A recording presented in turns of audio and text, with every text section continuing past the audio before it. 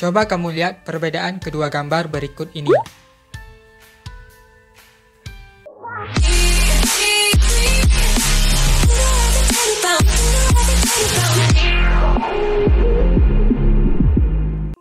Halo guys, apa kabar semuanya? Semoga semuanya dalam keadaan baik-baik saja ya. Baiklah, pada kesempatan kali ini saya akan membagikan tutorial cara hapus file sampah caca aplikasi di HP Xiaomi tanpa mendownload aplikasi tambahan. Hanya dengan melakukan cara yang mudah ini, penyimpanan di HP kamu jadi kembali lega.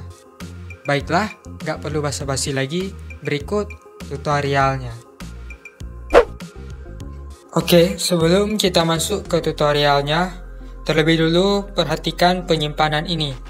Bisa diperhatikan di sini 95% terpakai, tersisa 1,15 GB dari 25,43 GB tersedia. Dan di sini perhitungan penyimpanannya ada berbagai file ya. Bisa dilihat sendiri di sini. Oke, langsung saja di sini saya akan masuk ke bagian setting.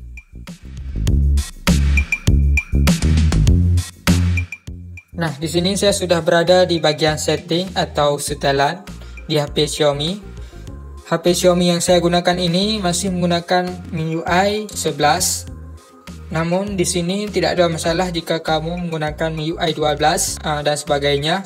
Karena yang saya ketahui di sini untuk bagian yang akan kita oprek di sini atau kita otak-atik di sini tetap sama di MIUI 12 dan sebagainya. Setelah kamu masuk ke setelan, di sini masuk ke menu aplikasi. Di sini ditulisnya APL. Jika bahasa Inggris, apps.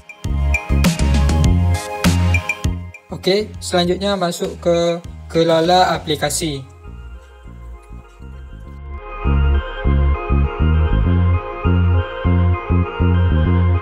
Oke, di sini untuk bagian urut per statusnya, silahkan diklik atau di tab di sini Lalu pilih penyimpanan. Oke, penyimpanan terbesarnya di sini ada Clip Claps. Nah, di penyimpanan tiap aplikasi ada dua penyimpanannya. Ada penyimpanan data dan penyimpanan caca atau cache. Lalu apa bedanya? Jika kamu menghapus data di aplikasi tertentu, maka di aplikasi tersebut kemungkinannya kamu harus melakukan login ulang. Apabila aplikasi tersebut mewajibkan kamu login seperti sosial media nah, seperti Facebook jika kamu menghapus data di Facebook maka kamu harus login ulang. Namun jika kamu hanya menghapus data atau cache maka kamu tidak harus login. Begitu juga di aplikasi editing baik itu editing foto atau editing video contohnya Di sini contohnya Pixel Lab. Di Pixel Lab itu jika kamu menghapus data, maka data yang kamu simpan di Pixel Lab akan ikut terhapus. Contoh data di Pixel Lab seperti apa? Misalnya kamu pernah membuat project di Pixel Lab, maka project tersebut akan ikut terhapus apabila kamu menghapus datanya. Maka disarankan untuk Pixel Lab ini kamu lakukan hapus cache atau cache saja.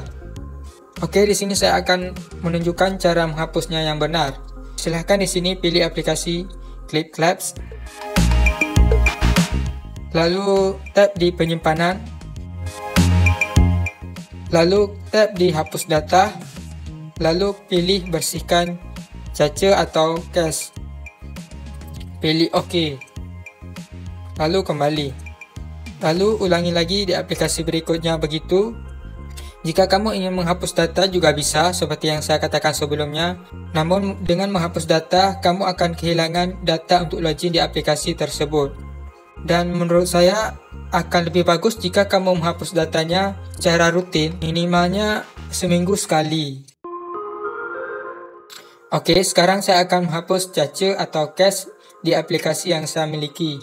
Dan video ini akan saya lanjut ke bagian selesainya saja. Oke? A few minutes later.